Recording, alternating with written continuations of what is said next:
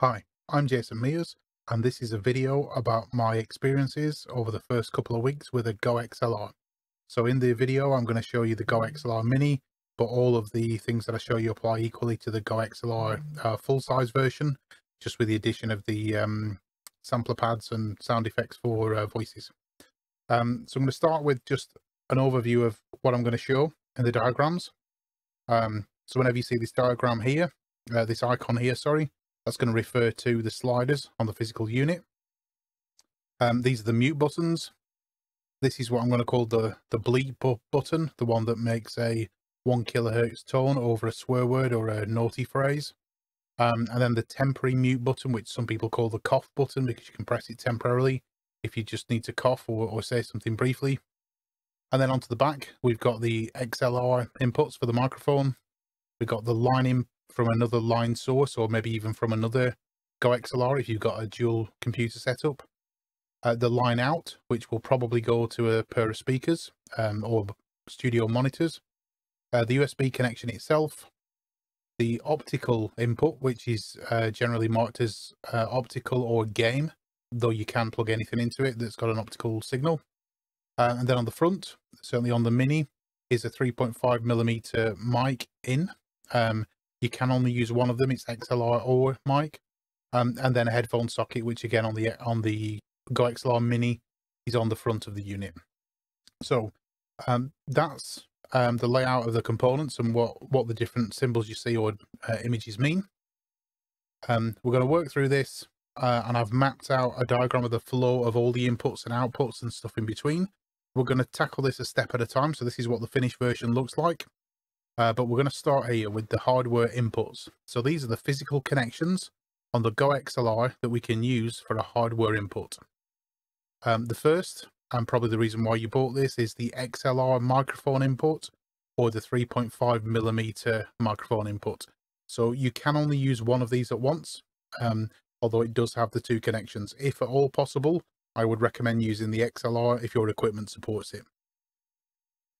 And the next thing that we've got then is the optical input, uh, normally shown with a game console or a game description, but it can be used for anything with an optical connection. We've then got the line in, which is one of the 3.5 millimeter jacks on the device. And then if you have a Go XLR full size, you've probably got the ability to do sampling and um, and you can enter samples from the hardware buttons on the front. Um, you actually can do it from software as well, but for the purposes of hardware inputs, this is what we've got. Microphone XLR and microphone 3.5 millimeter, optical line in and sample. And the next level of inputs are software inputs. So these are ones that you can um, connect to a software application. So what we're talking about here basically is uh, where we send the sound out of an application and into the Go XLR. So a little bit of terminology we need to get around our head. Although these are inputs on the Go XLR, they are an output from an application. So this is where my confusion started originally. When I very first started using this, I got the terminology of outputs and inputs, and it depends whether you're looking from the perspective of the Go XLR or the application itself. But we can assign any software application or groups of applications to these individual channels, and we'll talk about that um, in a couple of steps. And the next thing we've got then is the control over the microphone. So we have a button where we can uh, bleep um, or censor a swear word. Uh, we've got a button for temporary mute or cough, as some people call it. And then we've got a, a set of software microphone effects, which we do through the application. But these are all things that feed through the microphone signal or channel before we do other things with it. So this is how we get inputs into the system, a combination of hardware inputs and a combination of software inputs. Once we've got our inputs, we're then able to adjust the volume of these inputs using the hardware sliders on the top surface of the Go XLR.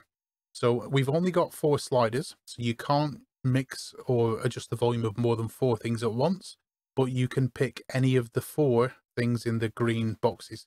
So those four sliders can be any uh, can manage any kind of volume, whether that be mic, chat, music, game, console, line-in system, or sample.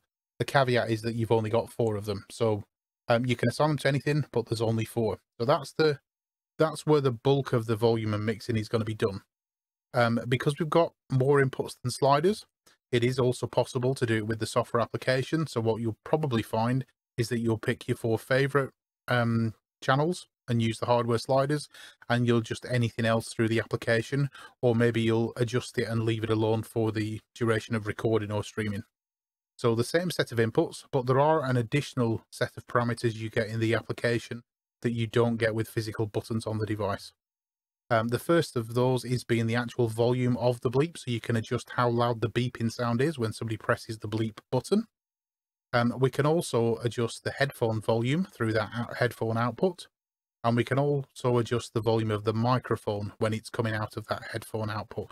We'll talk more about those later.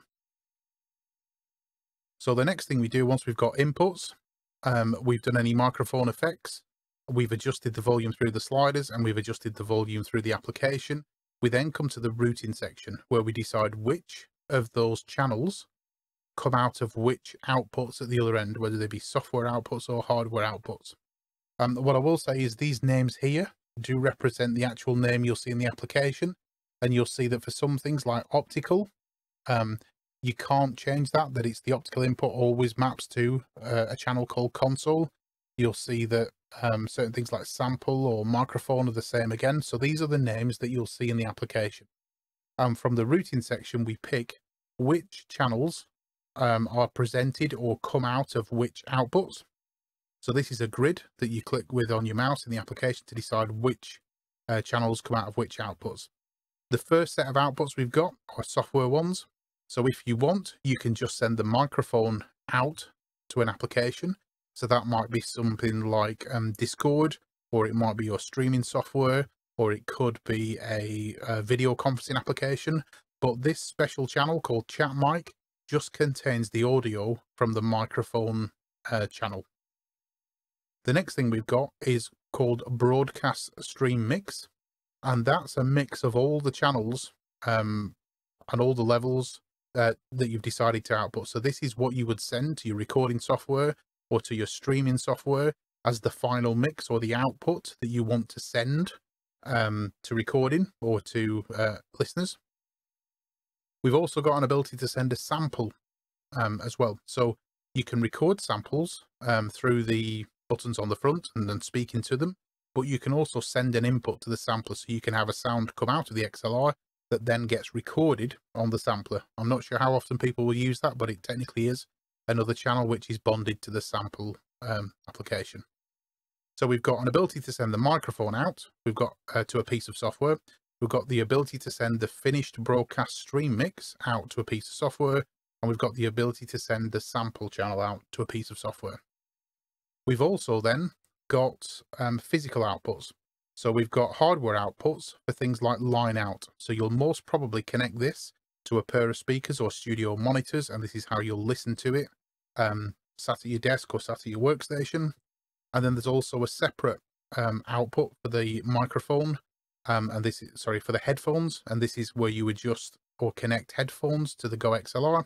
And you'll notice that those things we talked about before, those parameters you can change in the application, you can adjust the headphone volume from the application, and you can adjust the volume or level of the microphone when listening to it through the headphones. So that's an overview of all the channels. So we've got hardware inputs, software inputs, uh, ways of manipulating um, uh, the microphone or creating effects on the microphone, an ability to change channel levels via the sliders on and the mute buttons on the front, an ability to change the levels using the um, channels on the application uh, itself with some extra ones here relating to the bleep volume, the headphone volume and the microphone um, headphone volume.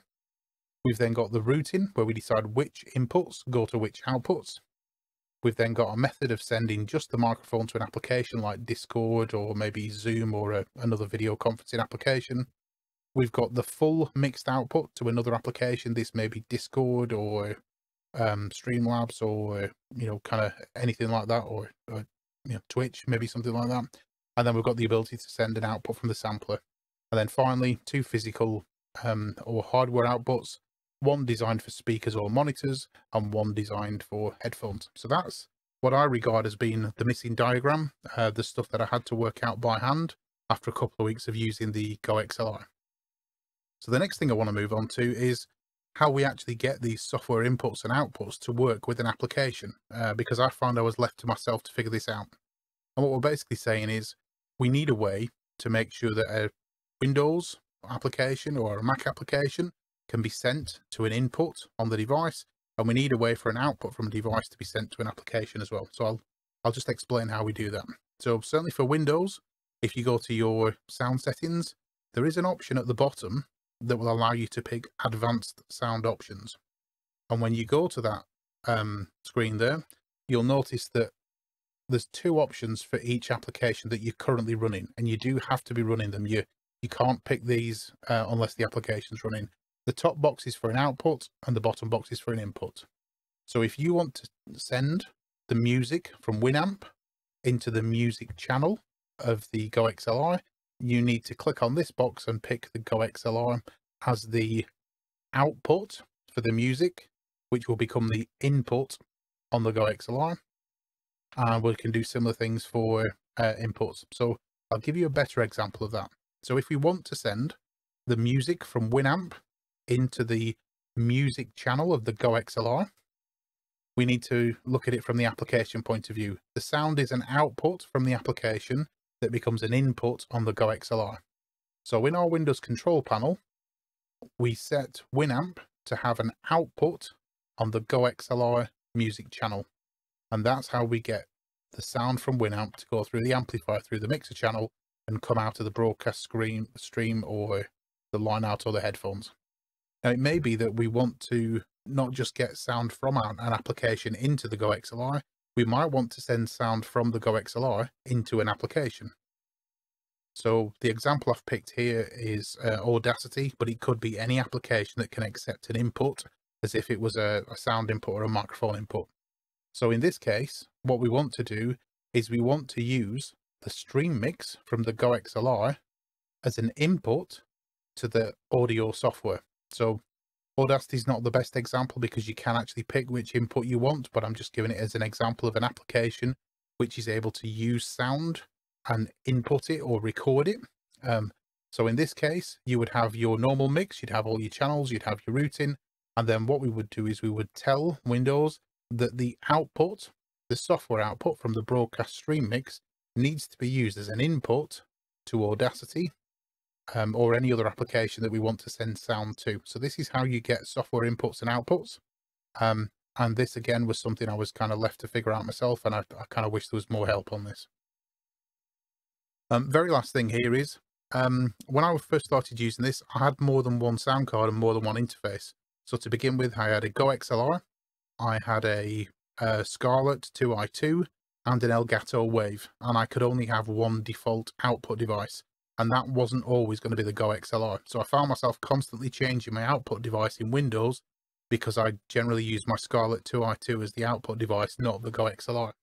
Now there is a way around that. And what you can do is you can go into your sound control panel and pick your broadcast stream mix. And if you click on that and select properties, you can tick the box that says listen to this device and listen to it through whichever other device is your def default output. So I'm saying take the mixed audio signal and I want you to play it out through the speakers on my Focusrite Scarlett 2i2. So this is a way of making sure that if you've got more than one audio interface or more than one sound card, if the Go XLR isn't your default output device, you can still hear the sound from it. So this might be useful for somebody who's got more than one device and doesn't want to keep flicking it backwards and forwards. Um, very last tip here, again, because I had multiple audio devices, I had the Scarlett 2i2, the Go XLR, and an Elgato Wave 3. I had so many input devices, I found it difficult to identify them. But what you can do, again, from that property screen, is you can change the icon and you can change the name if you wanted to do to make it easier for yourself. So that's the end. Uh, this is basically all the stuff I figured out in the first couple of weeks of having a Go XLR. And this is the diagram that I wish I'd been able to see first because I found it very hard work to begin with. So I'll leave it on that screen just for a second, just in case anybody wants to pause the screen and have another look at it. But um, thank you very much for your time and I hope you found that useful.